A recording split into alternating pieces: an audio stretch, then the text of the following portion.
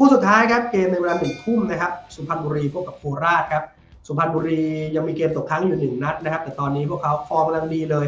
ก็มีอยู่ 19 คะแนน ตอนนี้อยู่ในโซนปลอดภัยแล้ว แต่ว่ายังห่างโซนตกชั้นแค่ 2 แต้ม ก็ยังมีเกมตกค้างในวันพุธให้พวกเขาได้เก็บคะแนนอยู่ 5 นัดหลังนี่ชนะถึง 4 นัดนะครับ แล้วก็แพ้แค่เกมเดียว ถือว่าเป็นช่วงเวลาที่ยอดเยี่ยมมากๆนะครับสำหรับทางสุพรรณบุรี โดยเฉพาะในเลก2เนี่ยพวกเขาออกไปเยือนทั้งหมดนะยังไม่ได้กลับมาเล่นในบ้านเลย ชนะประจวบแพ้ขอนแก่นแล้วก็ชนะเชียงใหม่ถือว่าไปเก็บแต้มจากทีมที่อยู่ในโซนตกชั้นด้วยกันเนี่ยมาได้ ก็ถือว่าเป็นการที่ทำให้พวกดีดขึ้นมา นี่คือประสบการณ์ที่ดีของโค้ชอเดบาโยและลูกทีมนะครับกับการหนีตายทุกปี พวกเขาก็จะมีประสบการณ์เที่ยวกว่าหลาย ๆ ทีมพอสมควรนัดนี้จะกลับมาเล่นในบ้าน ซึ่งเกมในบ้านนั้นล่าสุดของพวกเขาคือการล้มชูแบงคอกไปเต็ดได้นะครับในนัดสุดท้ายของเรกแรก เจอกับโคราชครับนครราชสีมาตอนนี้อยู่อันดับที่ 9 นะครับห่างจากโซนตกชั้น 9 คะแนน ขออภัยครับห่างจากโซนตกชั้น 6 คะแนน ก็นัดล่าสุดแพ้ประจวบมา 2 ต่อ 3 นั่นถือว่าเป็นการแพ้นัดแรกในเลก2นะ คือจริง 3 นัดแรกในเลก2นี่โค้ชโจพาลูกทีม ประเดิมได้ดีมากนะครับ ชนะเทโรที่บุณยะจินดา กลับมาเล่นในบ้านเสมอเชียงใหม่ 2-2 แล้วก็เล่นในบ้านชนะเชียงราย 1-0 เกมนัดล่าสุดเนี่ยโค้ชโจโดนแบนก็ไม่รู้ว่ามีเกี่ยวส่วนเกี่ยวข้องหรือเปล่า ที่ทำให้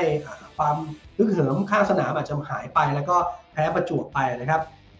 เกมเยือนปีนี้เล่นไป9นัดชนะ2เสมอ2แพ้5นะครับ ปัญหาของเกมนี้หลักๆโคราชก็คือ การจะขาด 2 เซนเตอร์นะครับ เฉลิมพงษ์ เกิดแก้วครับสะสมใบเหลืองครบ4ใบ ส่วนชาร์ลีคลัฟโดนใบแดงตรงนัดล่าสุด 2 เซนเตอร์ตัวหลักโดนแบนพร้อมกัน นี่น่าจะเป็นปัญหาใหญ่ของทางโคราชเลยครับที่จะทำยังไงกับการแก้ไขปัญหาตรงนี้ แล้วก็สุพรรณบุรีกำลังมั่นใจด้วยดานิโลอาเวสกำลังโอ้โหยิงถล่มทลาย แล้วก็รอดูว่าวิลเลียม อินลิเก้จะกลับมาได้หรือไม่นะครับ เพราะว่าก็หายไปหลายเกมเหมือนกัน เพราะฉะนั้นเกมนี้เนี่ยถ้าดูจากสถิติ อันนี้ก็น่าสนใจครับ คู่นี้เจอกันในลีกสูงสุด ปีแรกคือ 2015 นะครับเป็นการที่ทั้งคู่ขึ้นมาเจอกันในลีกสูงสุด ทุกครั้งที่ 2 ทีมนี้เล่นในบ้าน เจ้าบ้านไม่เคยแพ้ครับโคราชเล่นในบ้านก็ไม่เคยแพ้ทางด้านของสุพรรณบุรี อาจจะมีหลุดเสมอบ้าง แต่ไม่เคยแพ้ที่สำคัญสุพรรณเล่นในบ้านเจอโคราช6ฤดูกาล ชนะรวดครับโอ้โหนี่เป็นสิ่งที่มันข่มกันเห็นเห็นนะ เพราะฉะนั้นเนี่ยจริงจริงๆผมเนี่ยชอบโคราชนะในเกมนี้ ยังแอบไปฟันโดกับ BG แบบคร่าวๆไว้เลยว่าโคราชน่าจะลุ้นชนะได้ แต่พอมาดูแบบภาพรวมทุกอย่าง โดยเฉพาะ 2 ตัวเซนเตอร์ติดโทษแบนพร้อมกันสถิติที่ข่มอยู่ แล้วก็ความคึกคักของสุพรรณที่มีอยู่ ผมเลยมองว่า